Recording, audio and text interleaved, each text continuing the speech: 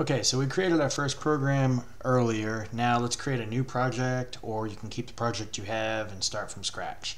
I do highly recommend you actually type out everything that I type so that you put this to your muscle memory and you won't have to look up everything as you go.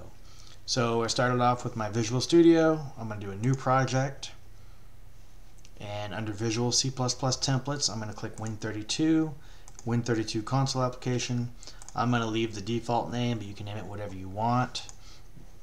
And hit OK. A summary of what I just did. A couple of options. I'm going to leave them as default, as normal, and finish. Let it create its uh, the environment. Okay, so here we are. We have our standard stdafx.h. That's a precompiled header that is going to stay there so that Visual Studio can run what it needs to run in order to run our programs. And again, most of our programs will have the IOStream included. So include IOStream as a header file. Now in our integer main function, we're going to create some more couts, and I'm going to show you a couple of things with integers and other data types and how cout integrates that within its um, extraction and, and insertion operators. Uh, let's begin with something very simple. Uh, we're going to create integers. And before, in the first program, we only created one integer. You can create multiple integers on one line of code. Integer 1, comma, integer 2, comma, sum. You can even create integers and assign them on the fly just like that as well. I can say integer 1 equals 0, integer 2 equals 0, and sum, I'm not even going to say what that is. So you don't have to assign them, but you can. Just throwing that out there.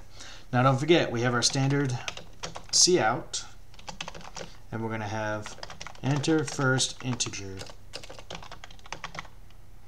and re remember, backslash n is an escape character to give a new line. cin, we're going to actually cin integer 1. C out to the screen, enter second integer, backslash n, which is a new line, cin your second integer. So what we have so far, let me summarize here, we created a space in memory to store three integer variables. Integer 1, and we assign that to be 0, integer 2 assigned to be 0, and sum, which has no assignment. Uh, we will see out to the screen enter first integer. That's asking us on the screen to enter it with our keyboards. Standard cin is going to take whatever comes from the keyboard and store it into variable integer 1.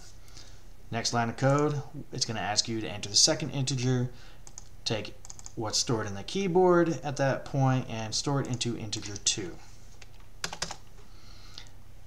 C++ allows you to do simple math operations.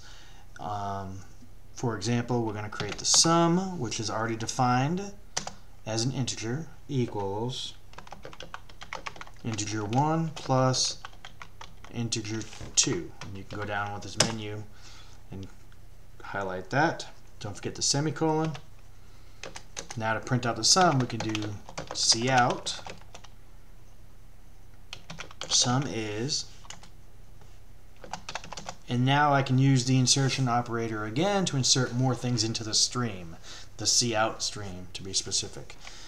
Sum is, and now the variable sum now I'm going to end the line. And we have the return zero down here already put in for us. Um, now let's not forget, most of these programs are going to run and then they're going to uh, close before we even get to read anything. So let's put our little pause in there. We already have variables called integer 1, 2, and sum. We can reuse those variables if we'd like. Uh, it might cause some confusion, so I'm going to go ahead and not do that. I'm going to create a whole new variable called pause and cin pause just so that we can see the output before it closes on us. So consider this our pause, you know, uh, code or whatever you want to call it. And to run this, don't forget F5 or debug, start debugging. Let's see if we have any errors first. It'll give us any errors that might pop up.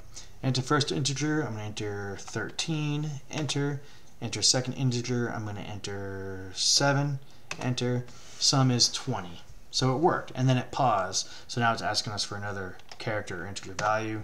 Type it in, hit enter. The reason why characters work for integers is because integers and, and characters are actually just integer values.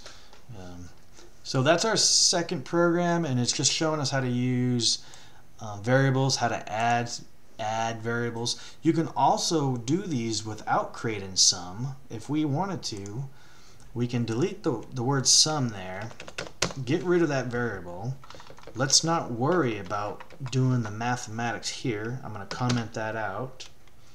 And I could simply say, see how it's highlighted there? Because sum is no longer declared, and you have to declare all variables before you use them.